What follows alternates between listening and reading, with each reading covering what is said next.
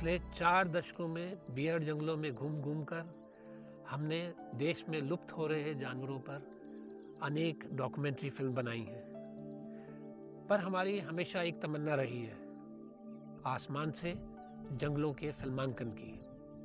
इसके लिए हमने चुना हॉट एयर बलून का रोमांचक और जोखिम भरा अभियान। आइए आप भी हमारे साथ इन अनोखे अभियानों पर।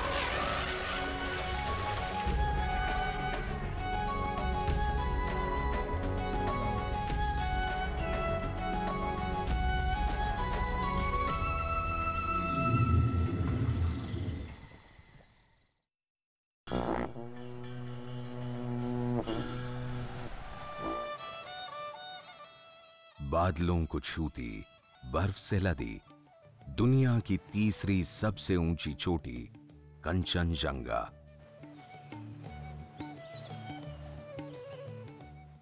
इसकी गोद में छिपे हैं रहस्यमय जंगल।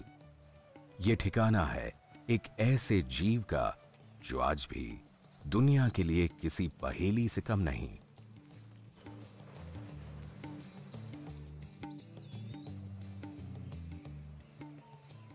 हिमालय की तलहटी में मिलने वाले फायर कैट यानी रेड पांडा की खोज में हमारा मुकाम है पूर्वोत्तर भारत में सिक्किम।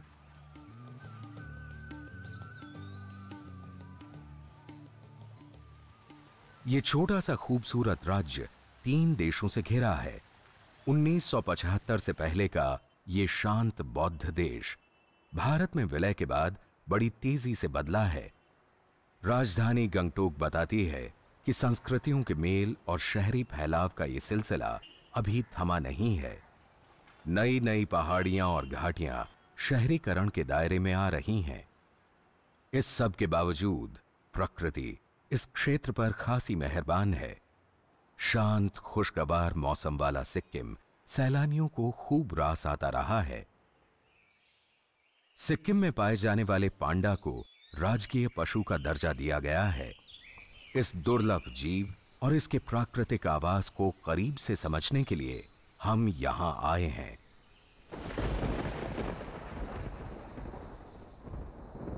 ऊँचे शिखर, तीखी ढलानों वाली गहरी घाटियाँ, तिहत्तर सौ वर्ग किलोमीटर के इस क्षेत्र में पेड़ पौधों की हज़ारों प्रजातियाँ मिलती हैं। इस ठंडे नम प्रदेश में करीब चार हज़ार मिलीमीटर तक वर्षा होती है।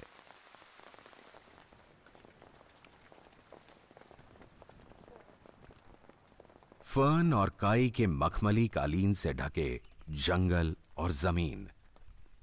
उमस और ठंड के इस अद्भुत मेल के बीच प्रकृति ने अनोखा जादू रचा है। फूलों को प्यार करने वालों के लिए सिक्किम जन्नत है।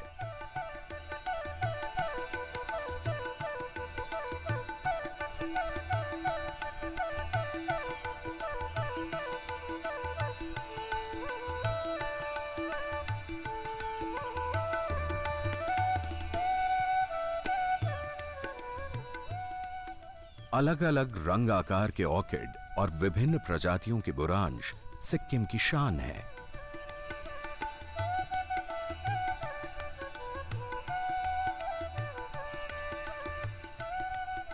हाल के कुछ वर्षों में सिक्किम ऑर्किड की खेती और निर्यात के अहम केंद्र के रूप में उभरा है।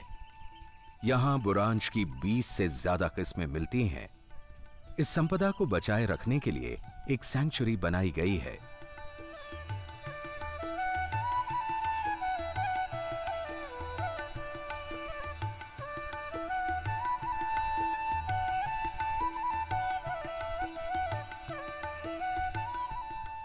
इन खूबसूरत जादुई जंगलों में सदियों से इस रहस्यमय जीव का बसेरा रहा है।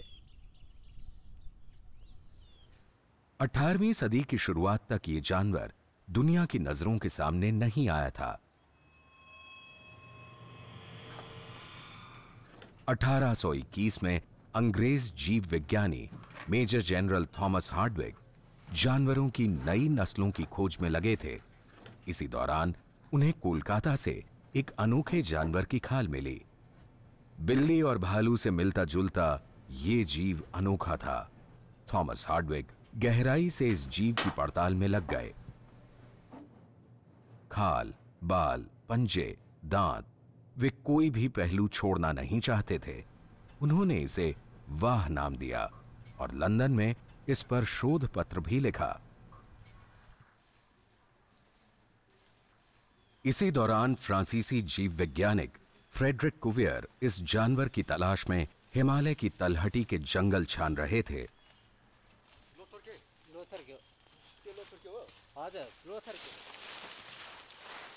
कोहरे में डूबे जंगलों में ये तलाश आसान नहीं थी।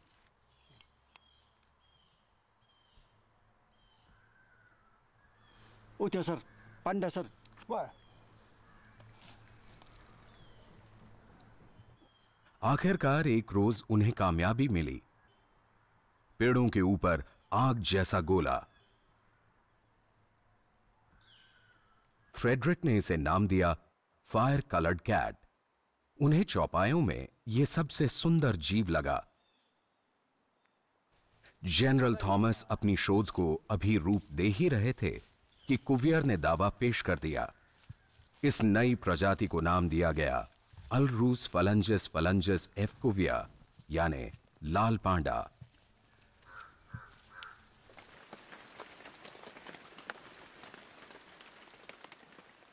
इन जंगलों में हमारी टीम को आज इसी शर्मीले लाल पांडा की तलाश है। इसे ढूंढ पाना न तब आसान था, न अब है।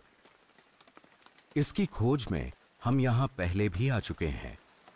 घना बीहड़ जंगल, कीचड़ फिसलन, तेंदुओं और भालुओं का खतरा और खून चूसने वाली जोंकें। पांडा को ढूँढने के लिए क्षण भर रुके नहीं कि जोंकों का हमला शुरू।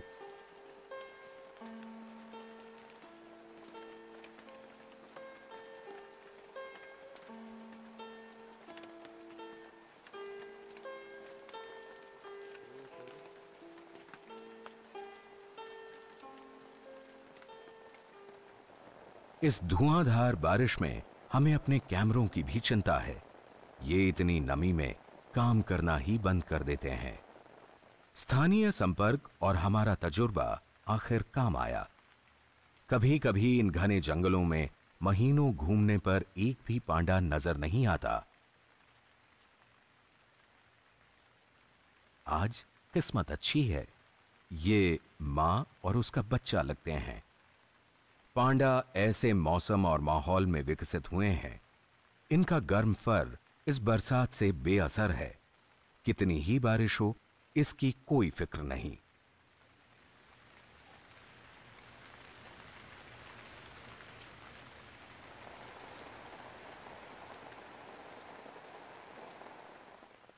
ये सुबह शाम ही सक्रिय होते हैं। ज़्यादातर वक्त ये पेड़ों पर ही गुजारते हैं। केवल खाने और जोड़ा बनाने के लिए ये नीचे उतरते हैं। बांसों से ढकी पहाड़ी ढलाने और घाटियाँ पांडा के प्राकृतिक आवास हैं। बाँस के नरम पत्ते और कोंपले इसका मुख्य आहार हैं। मौसमी फल, मशरूम, चिड़ियों के अंडे बच्चे और कीड़े मकोड़े भी ये खा लेता है। दरअसल पांडा की शारीरिक रचना मांसाहारी जीव जैसी है, इसलिए बाँस के तंतुमय रेशों को पूरी तरह नहीं पचा पाता। पत्तों से इसे भरपूर पोषक तत्व नहीं मिल पाते।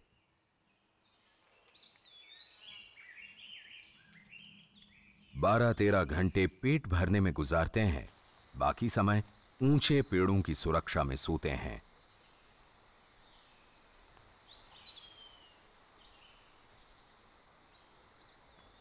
आमतौर पर अकेला रहने वाला यह खूबसूरत जीव मात्र चार किलोग्राम का होता है। मौस से ढके पेड़ों पर चढ़ने उतरने में यह माहिर है।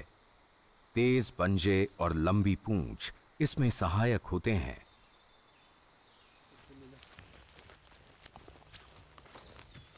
रोशनी कम हो रही है और बारिश तेज, लेकिन हमारे दिमाग में तो बेलूनिंग ही घूम रही है।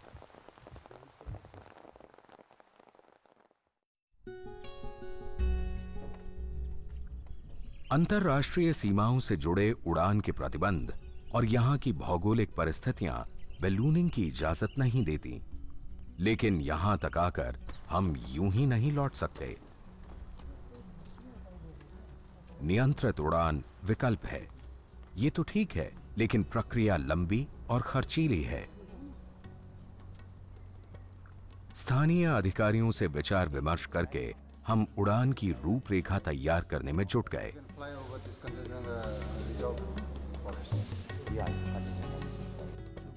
तैयारी शुरू। हमने इस प्राकृतिक सौंदर्य को गरुड़ की निगाह से कैमरे में कैद करने के लिए हेलीकॉप्टर के नीचे एक छोटा कैमरा लगा दिया। इसका कंट्रोल हमारे हाथ में रहेगा।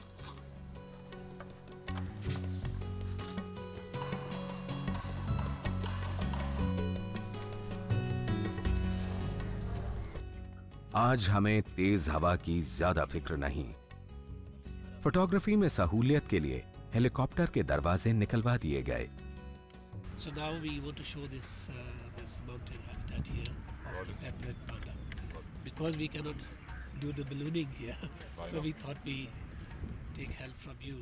हमने सीनियर पायलट को अपनी ज़रूरत बताई। उन्होंने पूरी मदद का भरोसा दिलाया। बेसिकली गेट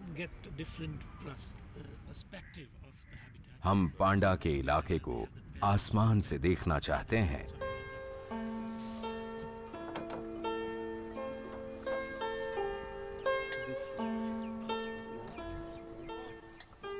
पायलट ने अपनी तसल्ली की।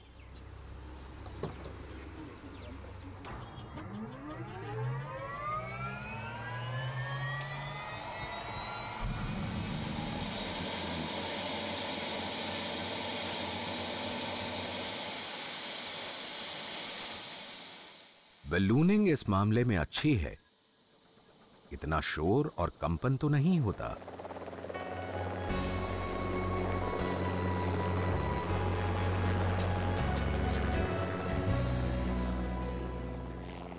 आसमान से नज़र आता है कि गंगटोक का फैलाव किस हद तक हो रहा है। अब हमने प्राचीन रूमतेक मॉनेस्ट्री के ऊपर से पश्चिम में सिंगलीला रेंज का रुख किया।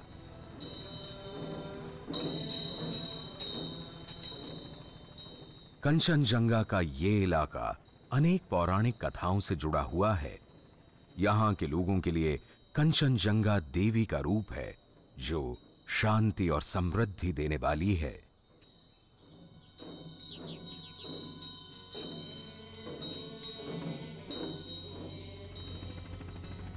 अब हम दस हज़ार फीट की ऊंचाई पर है।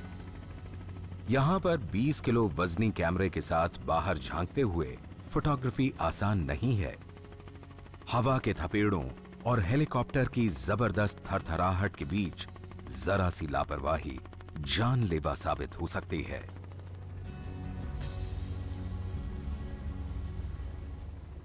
पांडा 6000 से 13000 फुट की ऊंचाई वाले ऐसे ही जंगलों में मिलते हैं। हम इनके इलाके में हैं। पेड़ एक दूसरे से जैसे गुथे पड़े हैं। घने, उमस भरे अंधेरे जंगलों में इस छोटे से जानवर की तलाश आसान हो भी नहीं सकती। यही वजह है कि सदियों तक लाल पांडा दुनिया भर के लोगों से बचा रहा है। पांडा नेपाल, भूटान और भारत के गिने चुने इलाकों में मिलता है। साथ लगते पश्चिमी बंगाल के जंगलों में भी ये मिलते हैं।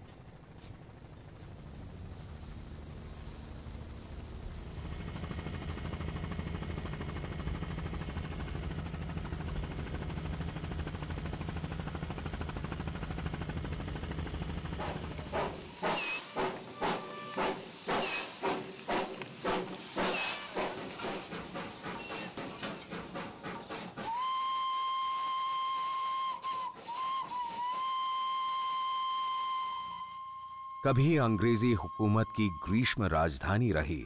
दार्जिलिंग के आसपास भी पांडा देखे जा सकते थे।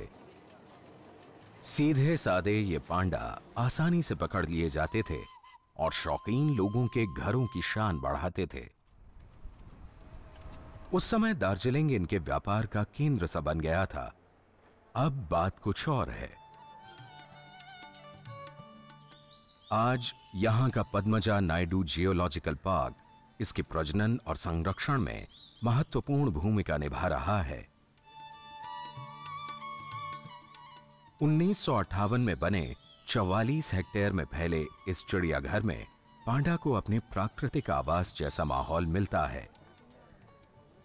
हर साल यहाँ तीन लाख के करीब लोग आते हैं और चिड़ियाघर का मुख्य आकर्षण पांडा ही है।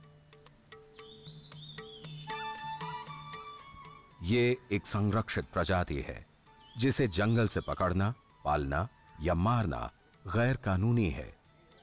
In the evening, they go down to the ground and search for यहाँ तक कि इन्हें चिड़ियाघरों के लिए भी नहीं पकड़ा जा सकता।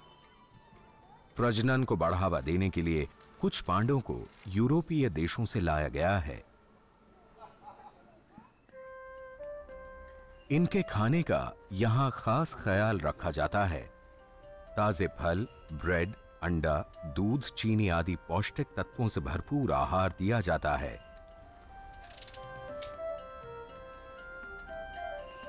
और पपीता 200 ग्राम।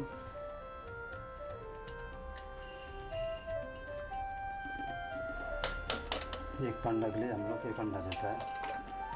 तो इसमें हम बाल्टी में डाल देता है जहाँ अंडा दिया उसके पास डाल देता है। हाफ़ लीटर दूध देता है। ये एक पंडा का खाना हो गया।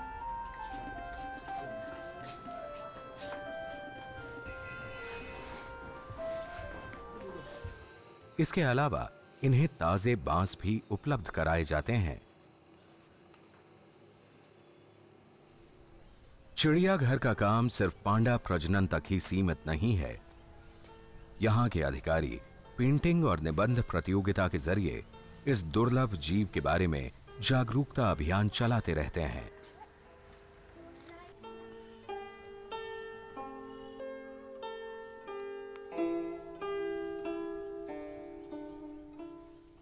पांडा का नाम आते ही चीन के काले सफ़ेद पांडा की तस्वीर उभरती है। हैरानी की बात है कि लोग अपने ही देश के इस खूबसूरत जीव लाल पांडा को नहीं जानते।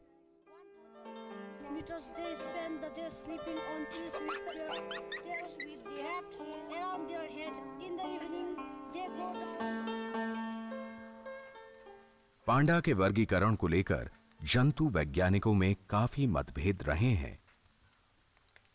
एक समय इसे भालू और बड़े पांडा के समीप माना जाता था। हाल ही में डीएनए अध्ययन के आधार पर इसे रकून के ज़्यादा निकट पाया गया है। पांडा की कुछ आदतें बिल्ली परिवार से भी मेल खाती हैं। शोर शराबे या किसी और वजह से मादा अगर घर बदलती है तो बच्चे को बिल्ली की तरह मुँह में उठा लेती है। यह तरीका बच्चे के लिए सुरक्षित है। आज अधिकारी कुछ दुविधा में है। माँ अपने बच्चे की ठीक से देखरेख नहीं कर रही। बच्चे को निकालना ही एक विकल्प है। केंद्र सरकार और अंतर्राष्ट्रीय सहयोग से चलाए जा रहे इस प्रजनन केंद्र को अच्छी कामयाबी मिली। जंगल की अपेक्षा यहाँ मृत्यु दर में कमी आई है। इस चिड़ियाघर में उन्नीस सौ चौरानवे से अब तक 30 से ज़्यादा बच्चे जन्म ले चुके हैं। ठीक है 280 ग्राम 278 मान लीजिए बिल्कुल प्राकृतिक आवास में पांडा एक या दो बच्चों को जन्म देती है। छह से आठ माह तक बच्चे माँ के साथ रहते हैं।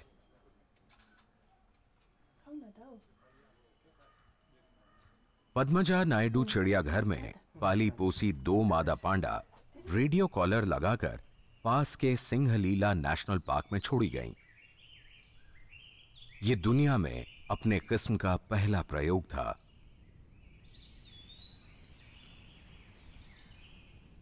इन पर लगातार नज़र रखी गई। यह देखना महत्वपूर्ण था कि चिड़ियाघर में पले पांडा जंगल की चुनौतियों का कितना मुकाबला कर सकते हैं। नतीजे उत्साहवर्धक थे।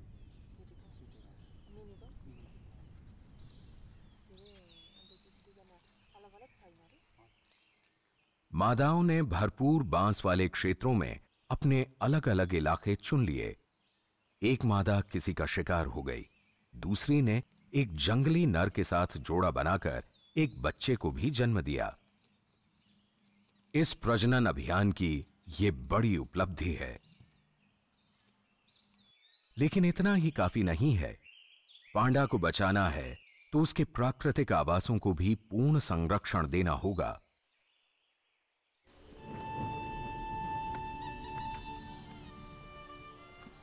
इसके मुख्य भोजन बाँस को बचाए रखने के लिए हर संभव उपाय ज़रूरी हैं। वन विभाग के लिए इतनी लंबी खुली सीमा की हर समय चौकसी करना मुश्किल काम है।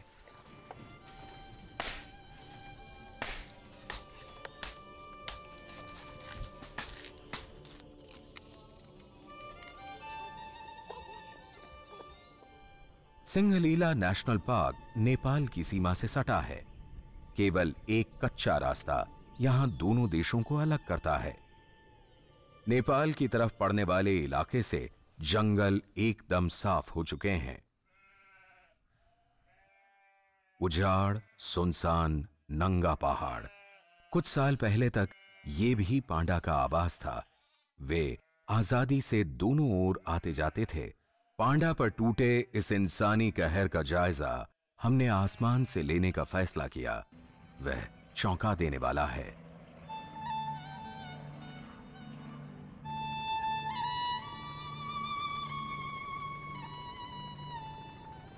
मनुष्य का लालच सभी सीमाएँ लांघकर हिमालय को तबाह कर रहा है। जंगल, खेत और बागानों की बलि चढ़ रही है। जंगलों के टुकड़े टुकड़े हो गए हैं।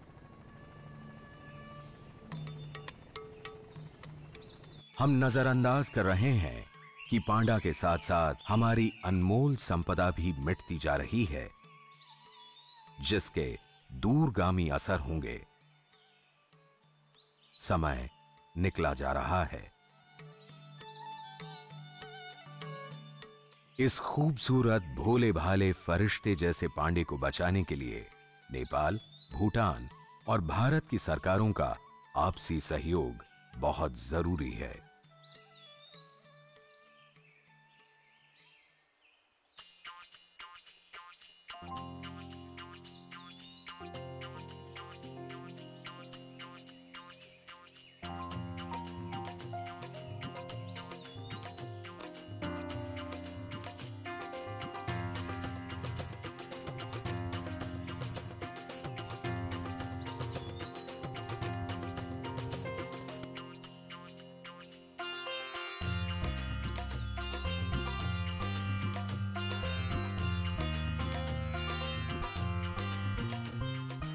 तैयार रहिए अगले हफ़्ते बेदी बंधुओं के साथ एक और दिलचस्प सफ़र के लिए।